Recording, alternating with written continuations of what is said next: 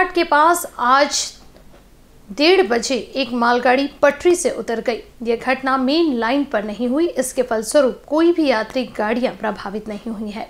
यह विशेष घटना के तुरंत बाद रिलीफ ट्रेन सहित जीआरएम व अन्य अधिकारी घटनास्थल पर पहुँचे।